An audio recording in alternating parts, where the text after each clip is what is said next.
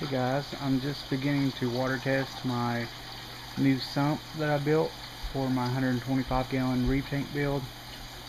Um, it's pretty much complete. I've just got to install my probe holder and my float switch holders and I've got to drill three holes that will hold my filter socks and then a hole at the end of the sump for the uh, external return pump uh, so right now I'm just filling it up to make sure that my Euro bracing holds up to keep the sides from bowing and that there aren't any leaks. Um, so I'm getting ready to watch it fill up and see how it does. And I'm pretty confident as I'm doing it in my floor here in my room that it's not going to leak so hopefully I'm right about that. Uh, I went ahead and put a one inch strip of acrylic all the way around the bottom and side quarter seams as well as a one inch Euro bracing around the sides up at the top. Um, I had some like little seeps where I had air bubbles in my uh, solvent and uh, so I just you know added those strips around there to keep it from leaking and to kind of give it a little bit more strength. I don't want to worry about my sump wall busting out or something in the middle of the night so that wouldn't be good.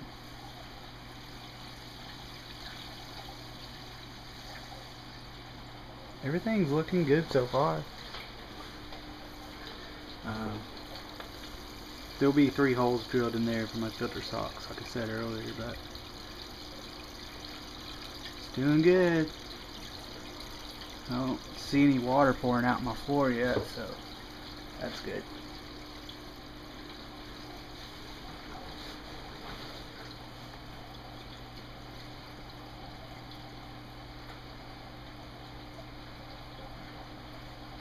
This is a little boring.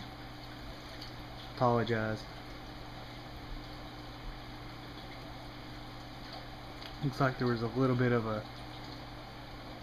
gap underneath that third bubble wall there. But as far as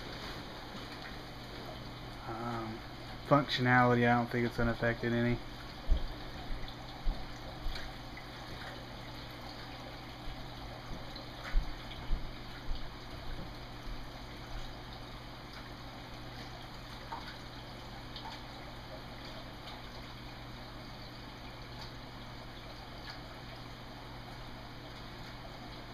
Should be filled up here in just a minute.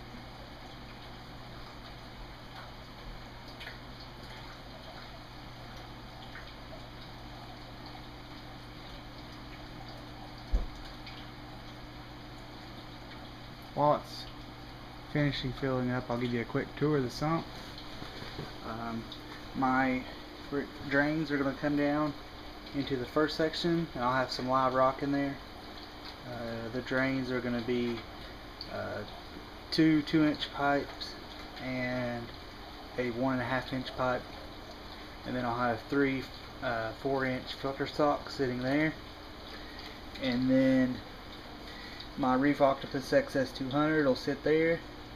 Then I have probe holders at the end that I'm going to glue in. And my uh, high flow bubble trap um, with I'll have two uh, float switch holders at the end and then it'll go out to my external pump.